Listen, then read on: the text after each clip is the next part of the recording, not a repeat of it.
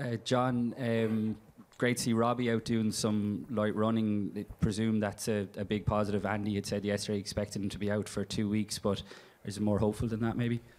He's good. He's, as you saw, he's out running, so um, he'll be assessed as we go ahead or go along, um, and we'll see. We'll see after the weekend how he pitches up next week.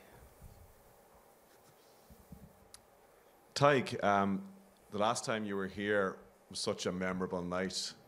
Uh, how much are you look for, looking forward to playing in that atmosphere again tomorrow night? Massively. Um, and from what I've heard, they've we're being told that there's going to even be even more Irish fans over at this one. So, um, you know, that gives us a massive boost. Um, you know, running out uh, with that with that noise against uh, South Africa was incredible, and um, it gives you it gives you an extra lift for sure. So, I'm very excited about it. Hi, John. Andrew, has Andrew picked up an injury, or is it just uh, any particular reason why Tadhg has come out? No offence, Tadhg. I prefer Andrew. I prefer Andrew to be here, to be honest. Bit of backup, but um, no, he was he was delayed, and uh, he didn't want to come. He's filling in. He's filling in. So no, he's all good. He's all good. Good to go. He'll be dealt with later. is ev- is everyone else good to go? Aside from Robbie, obviously. Yeah, yeah. Look, it's it's um, it's been a good week again. Um, some good prep, and I think everyone's unbelievably excited to get here tomorrow uh, to perform in front of the, uh, our support and, and um, play this game. Okay, question here at the front. Yeah. Um, I might just uh, do a question for both James and Tadhg, if that's okay. It's a big weekend for Peter O'Mahony, making his 100 cap, so massive for, for him and his family. James, could you tell me a little bit about your first impressions when you first met Pete? Um, I, I could, but we'd have to turn the TV cameras off. Um, no, he, he's a man who wears his heart on his sleeve and he uh, deserves all the praise that he's got this week. Um, to play 100 caps for your country is obviously a huge achievement in the way he's gone about his work.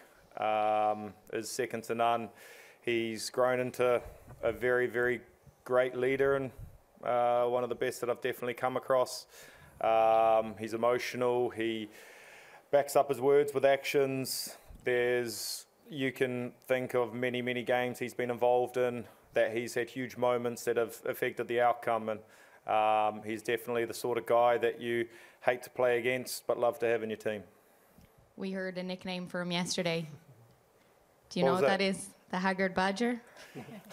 it's very fitting, if you ask me, because, um, like I said, the first time I met him, I thought he was more of a haggard badger than what I what I think of him now. But um, he's a grumpy old man in his age, but like I said, he's someone you want on your team.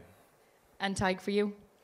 Um, yeah, just incredibly impressed by him. Um, my first experiences of him were obviously in Munster, and um, you know, going going over there, I'd only really seen him uh, in an Irish jersey and what he'd done for Munster as well. But um, to see how he he led the led the squad in Munster and the the training, the the effort he put through through in training, he as Lowy said, he wears his heart on his sleeve, and he's an incredible leader. Um, an even better bloke, you know. He's one of the most social guys around the place, despite what people might think of him. Um, he's always one of the last in the team room, having a cup of tea with the lads and just chatting away. So he, he's hugely liked within this group, um, and it speaks volumes of the man he is. And I, I'm very excited and I'm delighted I get to share the pitch on such a momentous, uh, momentous uh, occasion for him.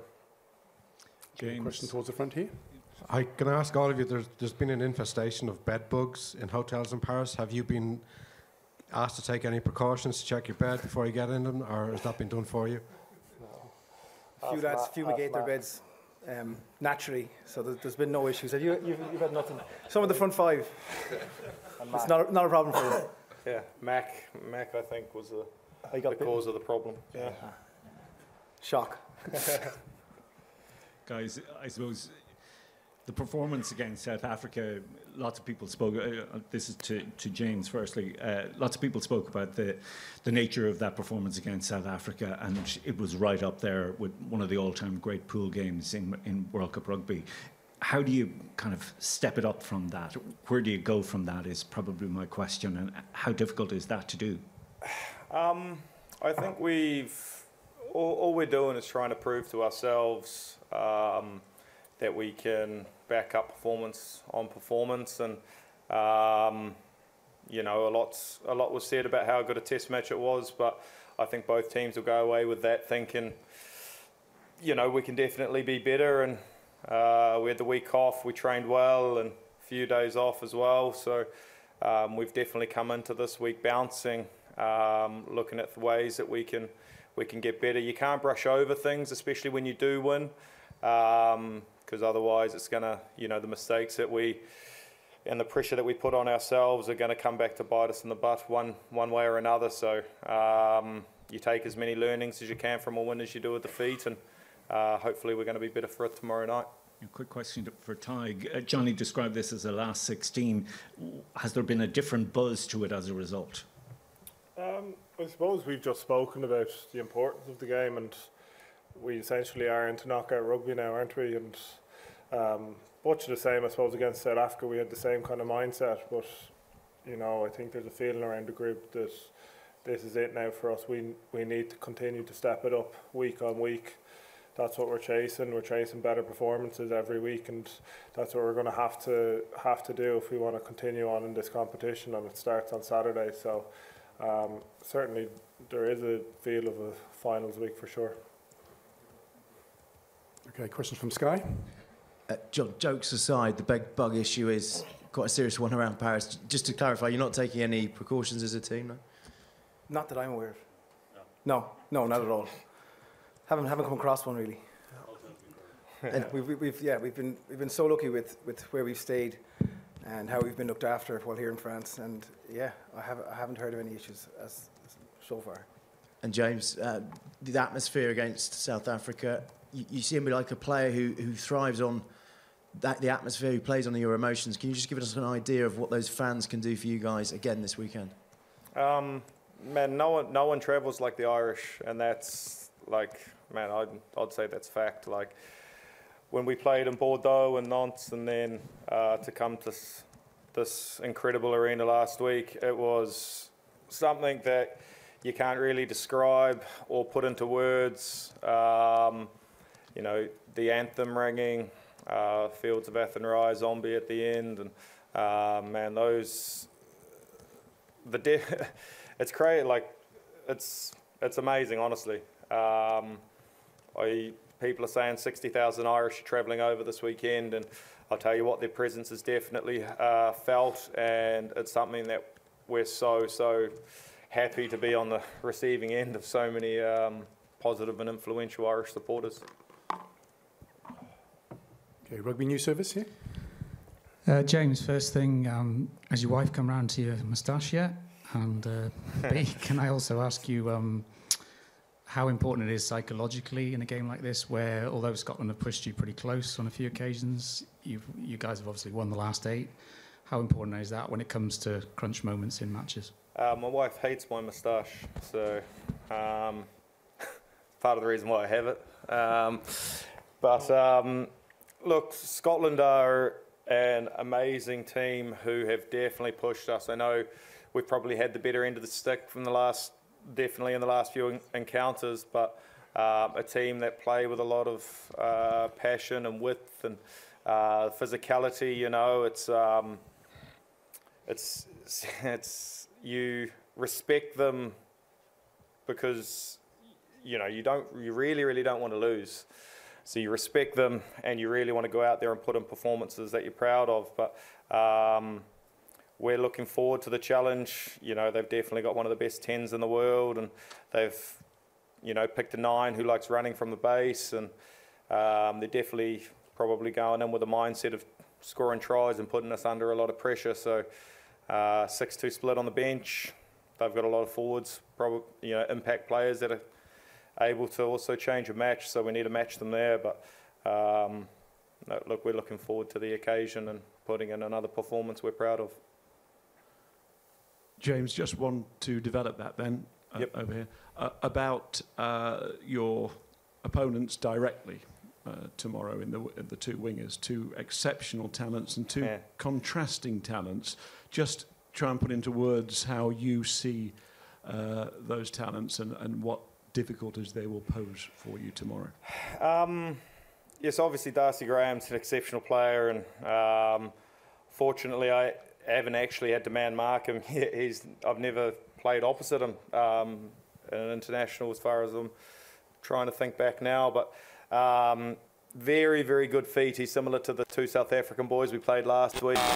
Um, catch and pass, and his ability to create something out of nothing is obviously, you know, and he's probably challenged by the two boys uh, last week. And um, he's definitely a handful, but you want to challenge yourself against the best, and then you look at the uh, behemoth on the other end, who's, you know, he's a few inches taller than me, and he's got definitely a bit more muscle than me as well. So he's um, he's a serious threat, ball in hand. But I mean, we're going to try our best to put them under as much pressure as we can, and hopefully uh, Finn Russell doesn't find them too often in too much space. Okay, Brendan. Uh, John, it, um, just on that point with, with Finn Russell, probably Scotland are quite a unique side in, uh, at the minute in World Rugby that they're so sort of revolve around one player. I'm just wondering how much your side will have learned from their performance against South Africa about how to contain his threat? Um, I, I, think Blair, Blair Kinghorn, he, he, both him and Russell, uh, decision making, seeing space, and be able to use these these wingers that James is talking about. That's that's a real concern, a real threat. They're, they're world class at at seeing the game unfold, looking for opportunities. Um, so so we talk about being off our feet, um, making sure that we're making good decisions off the ball to put ourselves in good positions so that we're closing off gaps, um, not giving them opportunities to, to, to see too much. Um, so, yeah, South Africa in that second half did a good job of, of containing uh, Scotland. Uh, from the very start, we need to make sure that we're, we're, we're on our feet, um, all in connected in defence, making good decisions to go to where we're needed um, so that we, we limit what they see uh, and, and, and put as much pressure on them as possible uh, to take away that, that time so they can make poor decisions or kick. Alex? Question for James. Uh, James, long um, unbeaten run for Ireland. What does that do for the team's self belief, confidence? Does that give you a sense of invincibility going into games? And if it does, is there a danger that complacency might creep in? Um, yeah, we're obviously, um, it does give us confidence in what we've done over the last three to four years in, in terms of what we've built and we know it works but like I said earlier even against even in wins there's still things to learn. So um, invincible I wouldn't I wouldn't go anywhere near that word. Complacency is something that can't creep into this group as well and it doesn't.